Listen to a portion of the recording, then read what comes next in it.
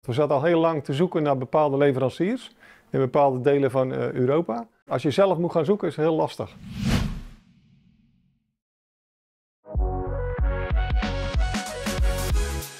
Electron maakt uh, verlichting, LED-verlichting.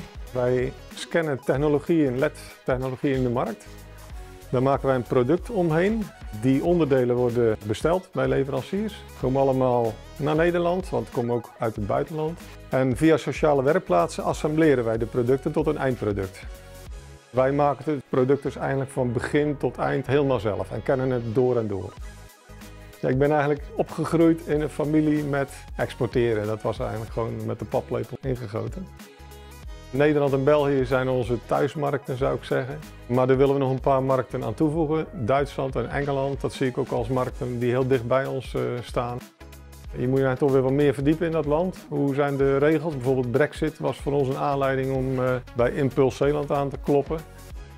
Maar het leuke is als je in dat soort gesprekken vertelt wat je bedrijf precies doet, dan kom je weer tot allerlei andere ideeën die je samen verder kan ontwikkelen.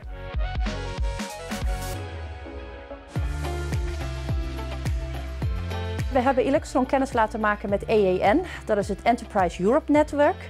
En dat netwerk zit in 66 eh, landen in de wereld. Daar werken ongeveer 3000 medewerkers voor. En wat je met dat netwerk kan doen, dat moet je zo zien als een platform waarin je vraag en aanbod wereldwijd bij elkaar kan brengen. En dat vraag en aanbod dat kan zijn commerciële partnerschappen aan te gaan, maar dat kan bijvoorbeeld ook op technologisch gebied als je daar partners zoekt. Dus het is een heel mooi netwerk wat ondanks de term EEN ook ver buiten Europa in te zetten is. We zijn ermee in contact gekomen doordat er een zoekopdracht door een buitenlandse partij was gegeven om samen te werken met een Nederlandse club. En dat heeft onze ogen geopend dat hey, wij kunnen eigenlijk ook een zoekopdracht. We zaten al heel lang te zoeken naar bepaalde leveranciers in bepaalde delen van uh, Europa. Als je zelf moet gaan zoeken is het heel lastig. En nu hebben wij dus zelf een zoekopdracht geplaatst bij Impuls Zeeland. En die verspreidt dat dan weer binnen het EEN-netwerk om de juiste partij te vinden.